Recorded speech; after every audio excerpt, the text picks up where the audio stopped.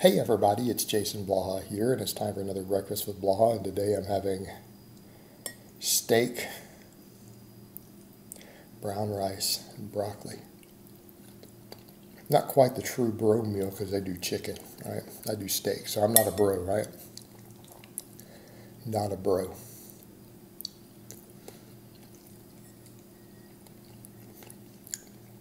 Technically, I eat like a bro. That's okay. It's a good thing. So let's talk a little bit about single joint exercises. You know, we come back over to when I say this again, people say, You just don't like curls. I do curls. What are you talking about? I do lots of curls. I'm very specific in the types of curls I do. I don't do single joint curls. When I curl, I like to use things like fat bars and come all the way up. Right?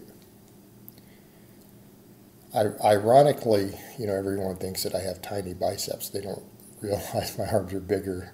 They're bigger than they think they are. It's my proportions.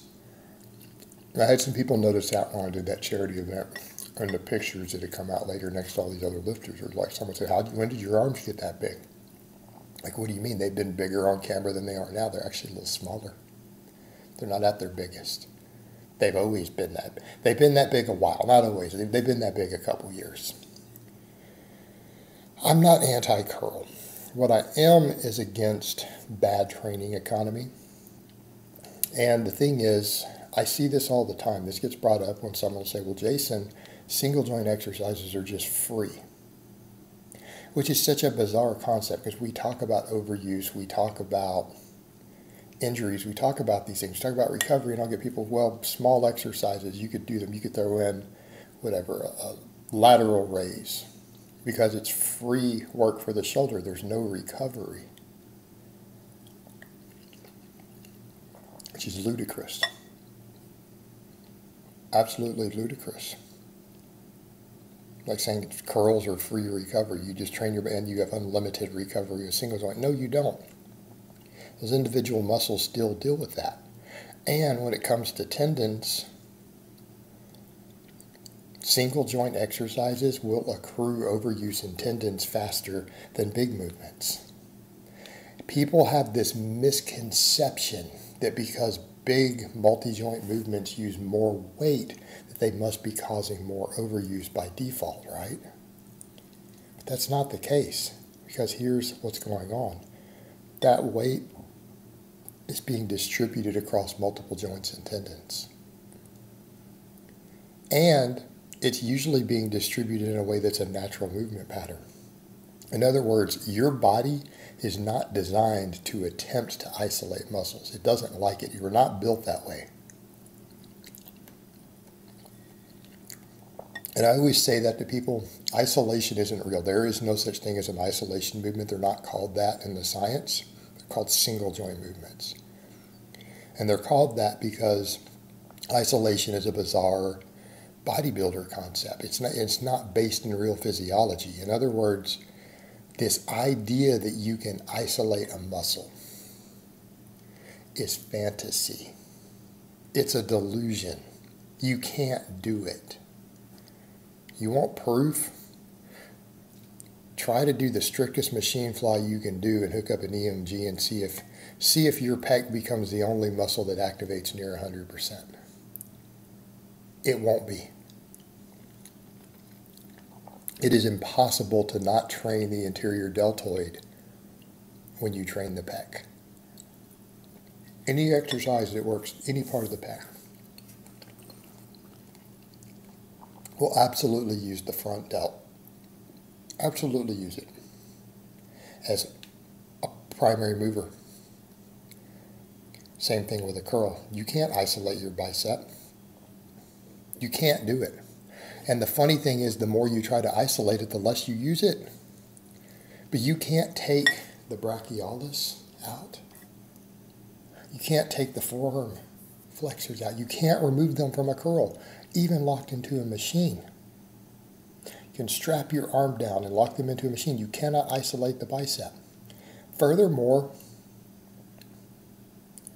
if you try to lock it into a full single joint exercise, what actually happens? You work the bicep even less because the bicep also is involved in this.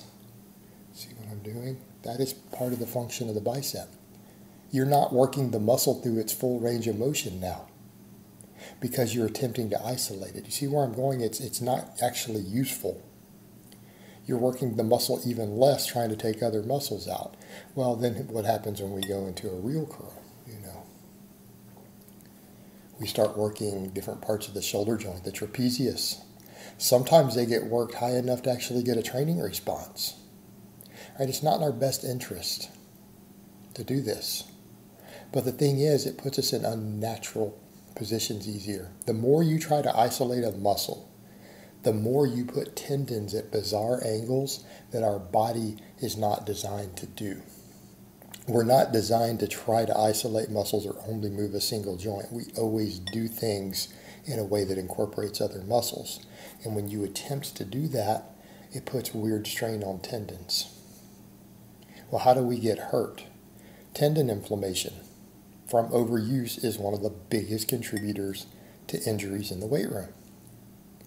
And look how many people who try to train that way still complain about being beat up.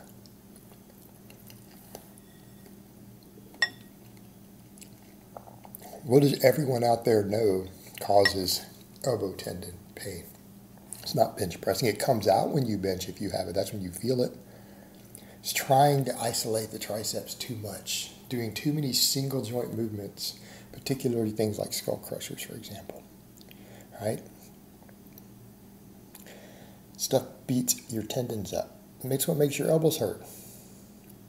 How about guys who kind of get that golfer elbow thing to where, oh, it hurts all down here? How many of them do preacher curls? How many of them do concentration curls? I must say the preacher curl is the number one contributor. Look at that angle it puts the tendon at. Too many lateral raises. Oh, it's free recovery. No, it's not until it inflames your glenohumeral joint.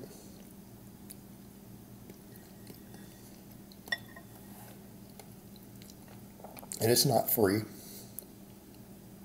What if you already have some shoulder issues?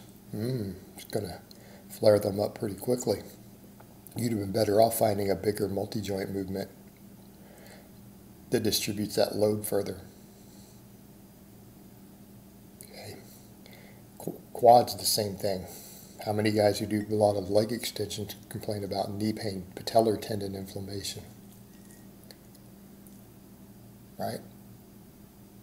It's exactly how we get these problems. And I'm not saying to avoid single joint movements. I'm saying they're not free in terms of recovery. I'm saying done with too much volume, single joint movements will cause overuse faster than your big movements do. All right, guys, but that's really all I have to say on that today. I hope it's been informative, and I will talk to you guys next time.